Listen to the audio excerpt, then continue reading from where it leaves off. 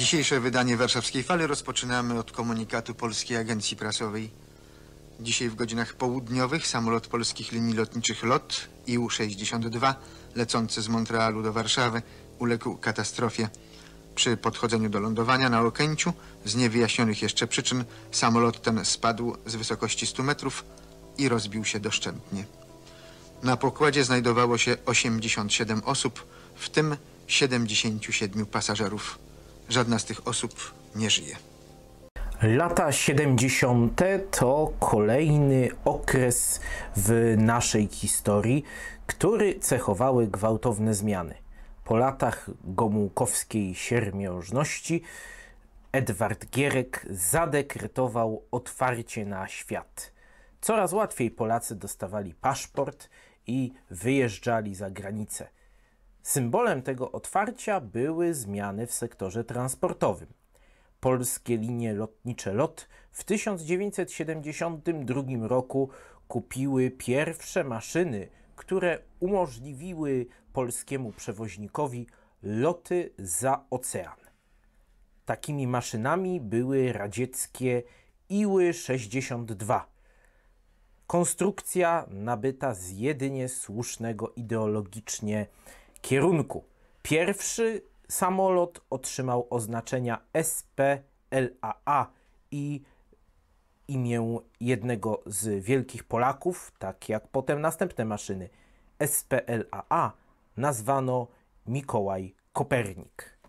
Przy dużej dezaprobacie radzieckich inżynierów zakupiono jednak do IU-62 amerykańskie urządzenia radionawigacyjne. IU-62 był konstrukcją na owe czasy całkiem nowoczesną. W siedmiu zbiornikach paliwa mieściło się 100 tysięcy litrów nafty lotniczej, a zasięg wynosił około 9 tysięcy kilometrów. Maszynę napędzały cztery silniki odrzutowe, znajdujące się z tyłu samolotu, po dwa z każdej strony kadłuba. Piloci generalnie na maszynę nie narzekali. IU-62 był konstrukcją jednak, którą podejrzewano o bycie nie wymysłem oryginalnym radzieckiej myśli technicznej, ale po prostu kopią brytyjskiego samolotu transportowego VC-10. Zaważyło to również na konstrukcji samolotu i miało dać tragiczne skutki. 13 marca 1980 roku. Już koniec gierkowskiej dekady. Zima stulecia dała się Polsce wybitnie we znaki we wszystkich dziedzinach życia gospodarczego. Tymczasem na lotnisku Kennedy'ego w Nowym Jorku ląduje IU-62 SP Lima Alfa Alfa, czyli wspomniany już Mikołaj Kopernik. Za kilka godzin samolot ten odleci z powrotem do Warszawy. Załogą, która przyleciała z Polski do Ameryki, dowodzi kapitan Tomasz Smolicz. Zdaje on nowej, czekającej już w Nowym Jorku załodze maszynę. Dowódcą jest 47-letni kapitan Paweł Lipowczan. Drugim pilotem Tadeusz Łochocki, radiotelegrafistą Stefan Wąsiewicz, a nawigatorem Konstanty Chorzewski. Wśród załogi nie ma nowicjuszy. Na pokład transatlantyków zabierani są tylko najlepsi piloci i stewardesy. Wieczorem 13 marca nad Nowym Jorkiem szaleje śnieżyca. Odlot samolotu jest przesuwany w związku z warunkami pogodowymi. Przed 21 podróżni proszeni są na podkład. Tylko 77 miejsc jest zajętych, a ta maszyna mogła pomieścić aż 168 osób. W większości pasażerami są Polacy. Na pokładzie jest m.in. znana piosenkarka Anna Jantar-Kukulska, wracająca z trasy koncertowej po Stanach Zjednoczonych. 20 miejsc zajmuje amatorska reprezentacja Stanów Zjednoczonych w boksie, która leci do Warszawy na bokserski mecz z Polską. Oprócz tego wśród innych pasażerów są też Niemcy i obywatele ZSRR. Samolot startuje o godzinie 21.18. Jego oznaczenie to lot 007. Przed pasażerami i załogą 14 godzin podróży. Samolot będzie leciał do Warszawy bez międzylądowań. Wszystko przebiega niemal rutynowo. Samolot startuje, kieruje się na północ i potem nad Atlantyk, żeby rano znaleźć się nad Wyspami Brytyjskimi i przez Danię, Bornholm wlecieć w okolicach Darłowa w polską przestrzeń powietrzną. 14 marca 1980 roku, godzina 11.13. Wieża kontrolna na Okęciu ma już łączność z nadlatującym samolotem. Padają krótkie, rutynowe meldunki. Nic nie wydaje się alarmować ani obsługi naziemnej, ani załogi samolotu. Następuje dialog między wieżą kontrolną a samolotem.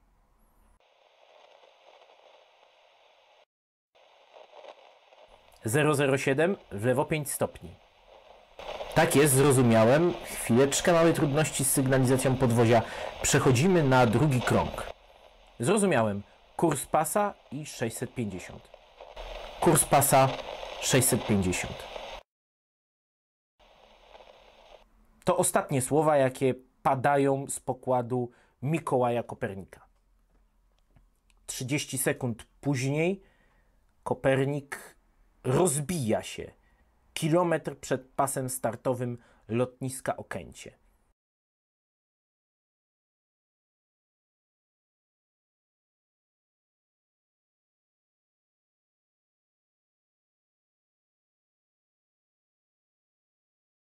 Nic nie zwiastowało katastrofy.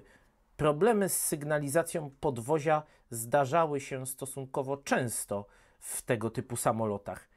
Załoga najczęściej przelatywała jeszcze raz nad lotniskiem i w tym momencie sprawdzano, czy podwozie wyszło, czy jest to awaria podwozia, czy może tylko przepalona kontrolka. Wszyscy znajdujący się na pokładzie zginęli. Samolot roztrzaskał się w fosie XIX-wiecznego fortu na Okęciu.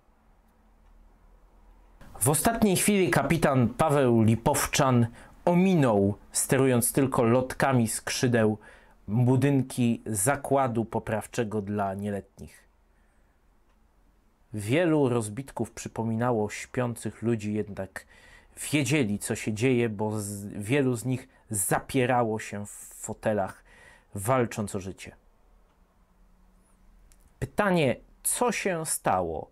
Dlaczego samolot spadł, mimo że nikt z załogi samolotu nie zaalarmował, że coś jest nie tak. Informacja dociera do Ministerstwa Komunikacji w momencie, kiedy odbywała się narada poświęcona bezpieczeństwu lotów pasażerskich. Cóż za ironia.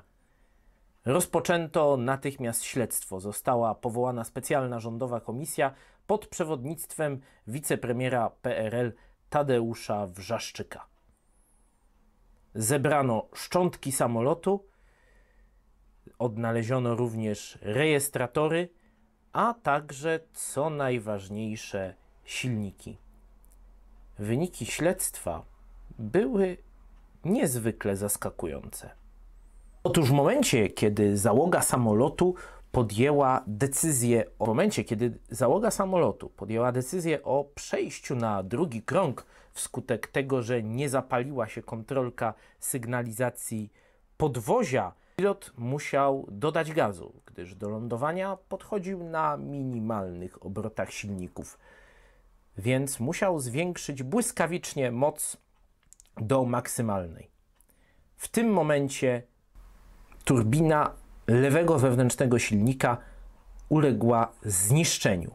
Pękł, dysk turbiny rozkręcił się natychmiast do obrotów nadkrytycznych, a dysk turbiny rozerwał się na trzy części, które wystrzeliły z prędkością pocisku z armaty przeciwpancernej, przecinając wszystko, co napotkały na swojej drodze, a więc niszcząc system sterowania samolotem i uszkadzając kolejne dwa silniki. Samolot utracił siłę nośną, a do tego pilot stracił możliwość manewrowania zarówno sterem wysokości, jak i sterem kierunku umieszczonym w pionowym stateczniku. Okazało się, że silnik numer dwa Mikołaja Kopernika został wykonany niedbale. Jak napisała w raporcie komisja rządowa, w końcowej fazie lotu, podczas podejścia samolotu do lądowania, nastąpiło zniszczenie turbiny lewego wewnętrznego silnika na skutek niekorzystnego i przypadkowego zbiegu okoliczności i ukrytych wad materiałowo-technologicznych, które doprowadziły do przedwczesnego zmęczenia wału silnika. Częściami zniszczonej turbiny zostały uszkodzone dwa inne silniki i układy sterowania samolotem sterami wysokości i kierunku. Dysponując jedynym sprawnym silnikiem oraz możliwością sterowania tylko poprzez wychylanie lotek, załoga zdołała jeszcze, co potwierdzają analizy i świadkowie, ukierunkować tor samolotu tak, że zderzenie samolotu z ziemią nastąpiło w miejscu niezabudowanym. Okazało się, że zawiodła radziecka technika. Zawiódł silnik, ale zawiódł też samolot. Samolot, w którym nie było zdublowanego układu sterowania, więc w momencie przecięcia linek sterujących sterem wysokości, ten opadł, a samolot zaczął pikować na spotkanie z ziemią. Kapitan Lipowczan zdołał jedynie ominąć budynek, który zobaczył na swojej drodze. Do pasa startowego nie miał szans dolecieć. 10 marca 1981 roku prokuratura wojewódzka w Warszawie postanowiła umorzyć śledztwo w sprawie katastrofy Kopernika wobec niestwierdzenia przestępstwa. Wyniki śledztwa zakwestionowali natychmiast specjaliści radzieccy. Twierdzili oni uparcie, że wszystkie uszkodzenia silników powstały od uderzenia w ziemię. Nie dopuścili do siebie myśli, że przodująca technika radziecka mogła niedbale wykonać silnik, czy też niewystarczająco zabezpieczyć układy sterownicze samolotu. To odrzucenie wniosków polskich specjalistów miało jeszcze przynieść tragiczne skutki i zaowocować największą katastrofą w historii polskiego lotnictwa.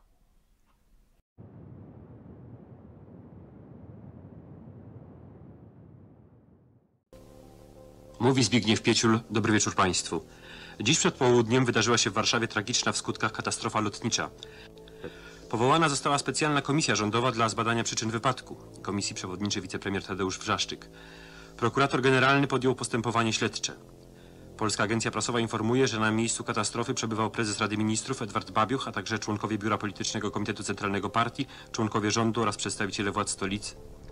Biuro Polityczne Komitetu Centralnego Partii, Rada Państwa i Rada Ministrów wyraziły głęboki żal i współczucie rodzinom ofiar katastrofy. Prezydium Rady Narodowej Miasta Warszawy ogłosiło sobotę i niedzielę dniami żałoby w stolicy i w stołecznym województwie warszawskim. Odwołane zostały wszystkie imprezy kulturalne, spektakle teatralne, seanse filmowe, koncerty, imprezy rozrywkowe w lokalach gastronomicznych, występy estradowe oraz imprezy sportowe. Listę ofiar katastrofy podamy w programie pierwszym Polskiego Radia o godzinie 23. Zamieści ją jutrzejsza prasa.